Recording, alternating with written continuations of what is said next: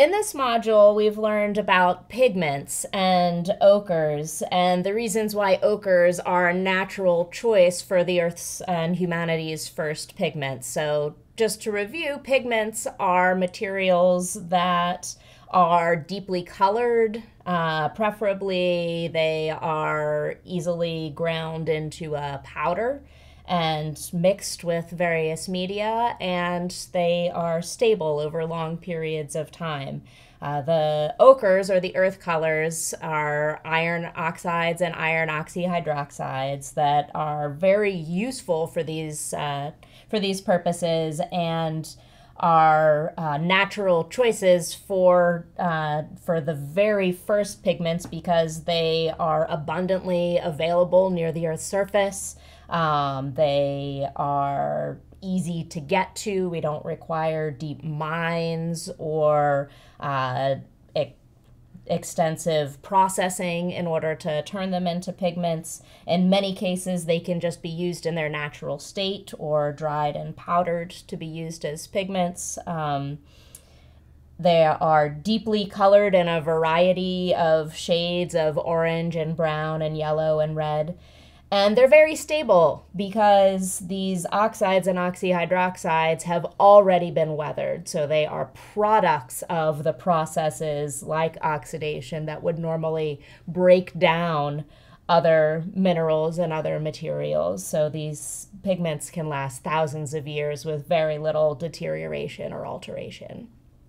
So, uh, in this unit uh, on my side, you learned about the various ways in which ochre could be used from simply uh, using it like a crayon uh, in its raw form. And I'm holding up here a piece of uh, red ochre um, to powdering and purifying. And one of the exercises I uh, gave you was to actually try uh, pur- purifying your own ochre from some colored dirt near your house, or mixing some of your own paint and playing with it uh, with various recipes. Um, but as you will have seen in the case studies, uh, the the way that ochre performs and the ways in which it could be used vary greatly from artist to artist and from technique to technique.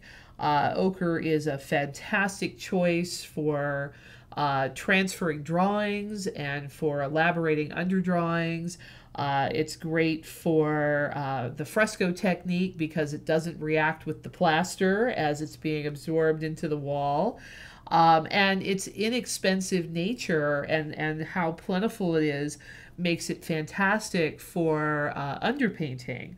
Um, and I wanted to show you uh, this as part of my research for preparing this class, um, I took a I did a workshop uh, and learned how to work with encaustic paints. And you should recall that uh, those are uh, pigments mixed with uh, beeswax or sometimes a combination of beeswax and some other substances. And uh, what I did here was I actually reproduced the stages that I showed you um, in one of our case studies of uh, creating an eye uh, for a one of those Fayum mummy portraits. Now, this, of course, is much larger than it would have been uh, in the original painting, but uh, it was a really interesting exercise. And I want to show you one last thing about uh, encaustic. This is some encaustic that dried and you can see that it, it tends to sort of dry in little chips and chunks. Um, and the moment you take your brush out of the liquid encaustic, uh, and this picture this on a, on a heating uh, element, I used an old frying pan. Um, the moment you take your brush out, that paint begins to solidify immediately. Um, and so it's a really challenging medium to work with. And that's why we see all of those tool marks and all of that texture in those uh, Fayum mummy portraits.